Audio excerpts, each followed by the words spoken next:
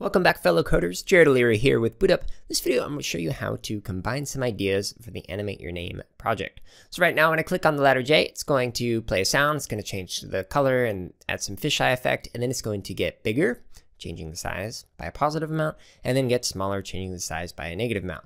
Now I wanted to do this while it also goes to a random position somewhere on the stage.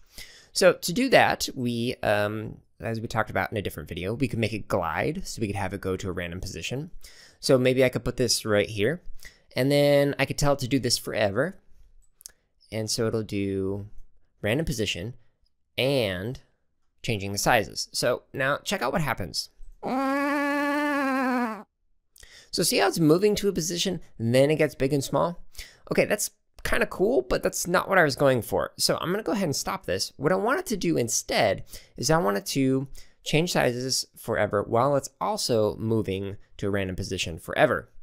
So I need to have this in its separate uh, forever loop. So it changes sizes forever and it goes to a new position forever. Now we can actually use multiple events of the same type. So we can say when the sprite is clicked, not only is it going to do this code, but it's also going to do this code. However, before I click on that, I want it to start in this position every single time. So I want to make sure that it goes here. So now when I click on the letter J, not only is it getting bigger and smaller, but it's also moving around the screen while it's doing that.